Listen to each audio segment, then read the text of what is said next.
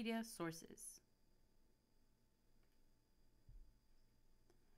In this video, you will learn how to find free media such as audio, images, and videos without infringing on copyright.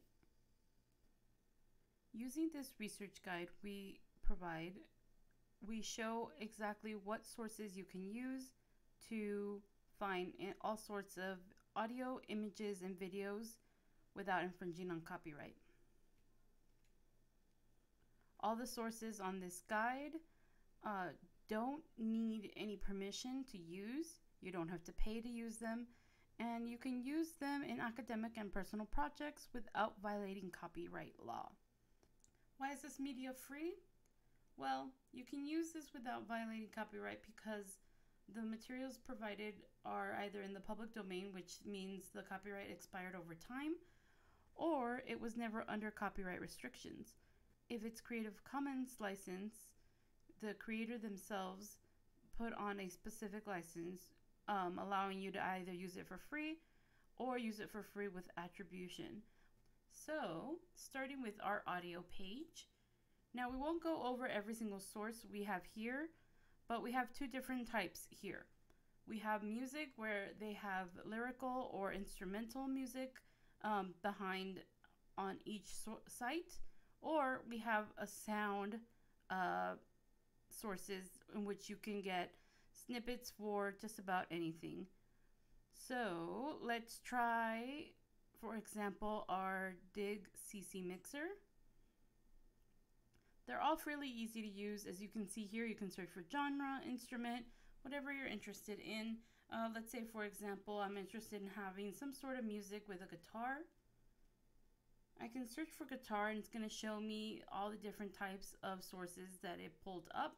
It pulled up an artist with the name guitar in it, and guitar and a slide guitar. Now I can look through the results and see which one looks the best, listen to a few, and pick the one that I like the most. So, for instance, I want to listen to this one.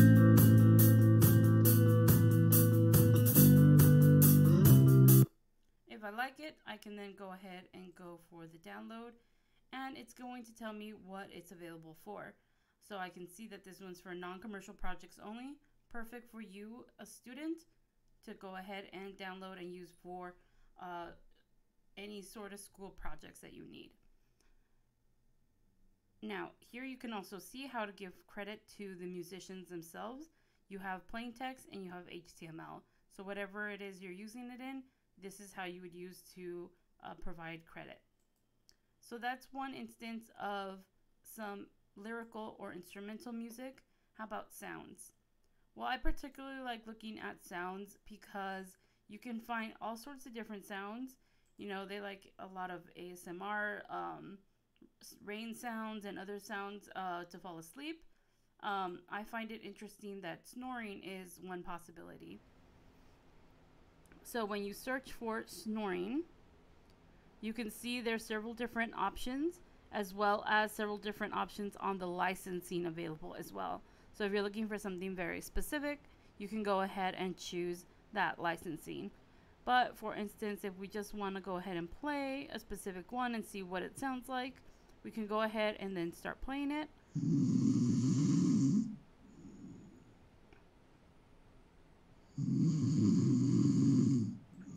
So it's really nice to uh, provide different sounds for a different type of songs or music or just some sort of background or really add something to a, any particular video you're creating. You do have to log in to download, so you'll have to create an account, and it does give you what licensing is available on this. And once you do log in, it gives you um, the several different file types that might be needed. Okay, so that is the audio. Let's check out the images. I really like the images because there's a couple fun ones. Um, the one we like the most, that as we've seen the students like the most, is the multicolor, search by color. This one's really fun because imagine if you're looking for something to match a certain pattern or a palette and you want uh, specific colors to be there. So what if I wanted something with a lot of blue or how about something with some blue and some green? So as I add colors and I can add up to five, I can make sure I've got you know, the perfect image to go with whatever it is I'm working on. Maybe perhaps you're doing some sort of project about, you know, plastic waste. How about straws, right? So you can see where all of this is coming up. I can go ahead and choose and take a look at where I can actually download this image from. Many of them are coming from Flickr. Some rights are reserved, so I'll need to take a look at that and see what it is um, I have to provide rights on. Hopefully it's just attribution, uh, you know, giving credit to the original photographer. But here on the right hand side, you'll be able to see where and what kind of sizes are available to download. That's one thing you'll have to look through on all of these sites is where is the option for downloading. Okay. So what's another one? Well, we've got also a list of images from museums and different collections all available here. You, they're very simple to search. There's only one that you might have some issues with, which is the British Library one on Flickr. Now this one we only say you might have an issue with only because I've seen many students who go straight to search here so they can look through the British Library's collection. But if you're looking through just the British Library, which is what's available for download, you want to make sure that to search through these million, you want to hit search photo stream first here. So search, then changes this search box to only search the British Library. So once I hit that, I can search through and find any resources that I'm looking for, that I'm interested in. And whenever I find something, you know, you select it and you can take a look at it. What's really nice is they're normally very high resolution images, and so you can uh, zoom in and see um, exactly like the best detail you can possibly see. And um, they offer, again, because it's also on Flickr, they offer different sizes. Many of these offer different sizes for downloading. So that is the images. For the videos, these are actually all provided by the Internet Archive. They're just three different collections that you can take a look at. So any of these that you want to take a look at, you can go here. Um, this is the Moving Image Archive. It has 6 million results. Many of these uh, can be used in anything you're interested in, um, adding to your video or just as a sample for um, any project that you're working on. Um, something that's of interest is like uh, the speed runs. So you can take a look at these and see the information available and what um, is provided. You can take a look at their collection and see like what videos you can actually grab and take a look at. Um, so you can go in, let's see, go in and you can see that there's different uh, options.